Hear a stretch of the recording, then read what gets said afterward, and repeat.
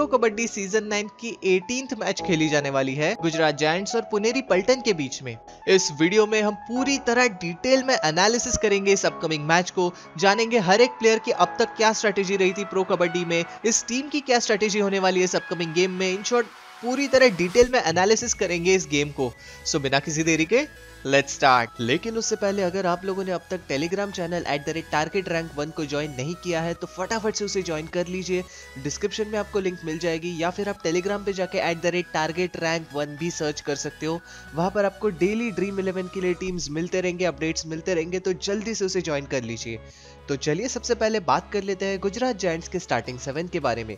Gujarat giants के centre में हमें दिखने वाले इस टीम के main raider H S Rakesh और उनका साथ देते हुए और दो रेडर्स होंगे चंद्रन रंजीत और लेफ़्ट इन में होंगे प्रतीक दैया डिफेंस की बात करें तो राइट कवर पर हो सकते हैं सौरभ गुलिया और लेफ़्ट कवर पर होंगे अकरम शेख। एंड फाइनली दो कॉर्नर्स की बात करें तो राइट कॉर्नर पे होंगे शंकर गडाई और लेफ़्ट कॉर्नर पे होंगे रिंकू।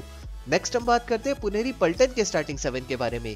पुनेरी पल्टन के सेंटर में हमें दिखने वाले इस टीम के सबसे मेन रेडर असलम इनामदार और राइट एंड में होंगे एक और मेन रेडर मोहित गोयत और उनका साथ देते हुए थर्ड रेडर का काम करेंगे मोहम्मद इस्माइल नबी पक्ष जी हाँ ये इंडिया में आ चुके हैं और अब ये हमें मैट पर दिखाई देंगे।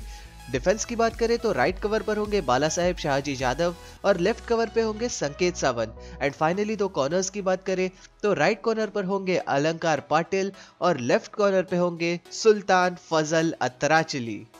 प्रो कबड्डी में आज तक जितने भी मैचेस हुए हैं, उसमें गुजरात जायंट्स और पुनेरी पल्टन अब तक 10 बार भिड़ चुके हैं, जिसमें से छह मैचेस गुजरात जायंट्स ने जीते हैं और तीन मैचेस पुनेरी पल्टन ने जीते हैं और एक मुकाबला टाई पे खत्म हुआ था। गुजरात जायंट्स की टीम में अब तक हमने ये तो ज़रूर देखा ही है कि एच एस राकेश का परफॉर्मेंस काफ़ी ज़्यादा कंसिस्टेंट है, काफ़ी ज़्यादा अच्छा है एंड इम्पोर्टेंट भी है गुजरात जायंट्स के लिए। लास्ट मैच में उन्होंने 15 पॉइंट्स कमाए थे। लेकिन एक और चीज़ है जिसके बारे में मैं पॉइंट आउट करना चाहता हूँ। लास्ट मैच में महेंद्र गणेश राजपूत को भी चांस मिला था और उन्होंने सात पॉइंट्स कमाए थे। इस टीम के कैप्टन चंद्रन रंजीत सब्सटीट्यूट होकर बाहर बैठे थे और महेंद्र गणेश राजपूत पॉइंट्स कमा रहे थे। सो so, क्या पता इस बार महेंद्र गणेश राजपूत हमें स्टार्टिंग सेवन में ही नज़र आए। और अगर नज़र आते हैं तो बहुत पोटेंशियल है उनमें एंड आई नो वो अच्छा करेंगे। अब इन रेडर्स का सामना होने वाला है पुनेरी पल्टन के डिफेंस से। पुनेरी पल्टन का डिफेंस काफ़ी हद तक हमें बदला बदला सा दिख सकता है, क्योंकि अब ईरानियन प्लेयर्स इंडिया में वापस आ गए हैं तो इसलिए कॉर्नर पर होने वाले हैं सुल्तान फजल अतराचली। अब लेफ़्ट कॉर्नर पर सिंस सुल्तान फजल अतराचली है तो हो सकता है कि राइट कॉर्नर और राइट कवर जहाँ पे हम पहले अलंकार पाटिल और बाला साहेब शाहजी जाधव को देखते थे, अब हो सकता है कि वहाँ पर अपनी ओरिजिनल प्लेयर्स आ जाए, जो कि है सोमवीर और अभिनेश नादराजन।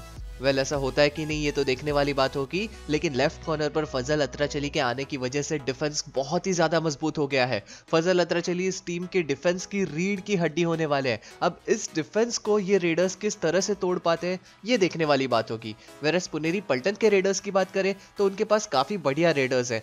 असलम इनामदार और मोहित गोयत अपनी बेस्ट फॉर्म में चल रहे हैं, अपनी टीम के लिए अच्छे से रेड पॉइंट स्कोर कर रहे हैं, और अब तो टीम में मोहम्मद इस्माइल नबी पक्ष भी आ गए हैं। अब इनका सामना तो गुजरात जायंट्स के डिफेंस के साथ होने वाला है, लेकिन सच बताऊँ तो गुजरात जायंट्स के डिफेंस ने अब तक हमें उतना इंप्रेस नहीं किया है। लेफ़्ट कॉर्नर रिंकू नरवाल और राइट कॉर्नर शंकर गडाई ने तो लास्ट मैच में एक भी पॉइंट नहीं कमाया था। गुजरात के डिफेंस ने हमें काफ़ी ज़्यादा निराश किया है और पुनेरी पल्टन के पास जिस तरह के खतरनाक रेडर्स है, उन रेडर्स को अगर रोकना है तो गुजरात को बहुत ज़्यादा हार्डवर्क करना पड़ेगा। बहुत ज़्यादा प्लानिंग की ज़रूरत पड़ने वाली है, बहुत ज़्यादा स्ट्रेटेजी की ज़रूरत पड़ने वाली है। और अगर इनमें से एक भी चीज़ अगर कम रह गई तो पुनेरी पल्टन के रेडर्स आसानी से बाजी मार जाएँगे। अब पुनेरी पल्टन का डिफेंस भी काफ़ी ज़्यादा स्ट्रॉन्ग है, पुनेरी पल्टन के पास रेडर्स भी काफ़ी ज़्यादा तगड़े हैं। सो पुनेरी पल्टन के लिए ये काफ़ी ज़्यादा आसान होने वाला है इस मैच को जीतना। वेरस गुजरात जायंट्स के लिए ये मैच एक चुनौती साबित होगी। एक ऐसी चुनौती जिसे पार करना बहुत ही ज़्यादा ज़रूरी हो जाएगा गुजरात जायंट्स के लिए, अगर उन्हें लीग टेबल पर ऊपर आना है तो। प्रो कबड्डी सीज़न नाइन में गुजरात जायंट्स अब तक दो मैचेस खेल चुके हैं, जिसमें से वो एक मैच हारे हैं और एक मैच टाई पे खत्म हुआ था। और पुनेरी पल्टन भी अब तक प्रो कबड्डी सीज़न नाइन में दो मैचेस खेल चुके हैं, जिसमें से वो एक मैच हारे हैं और एक मैच टाई पे खत्म हुआ था। दोनों ही टीम्स अपनी पहली जीत की तलाश में है। तो अब तक हमने जितना भी कुछ इन दोनों टीम्स के बारे में देखा है, जाना है, उसके हिसाब से मुझे लगता है कि इस मैच में जिस टीम को उसकी सबसे पहली जीत मिलने वाली है, वो टीम होने वाली है पुनेरी पल्टन। आप लोग मुझे कमेंट में ज़रूर बताना कि आपको क्या लगता है कि कौन सी टीम जीतेगी।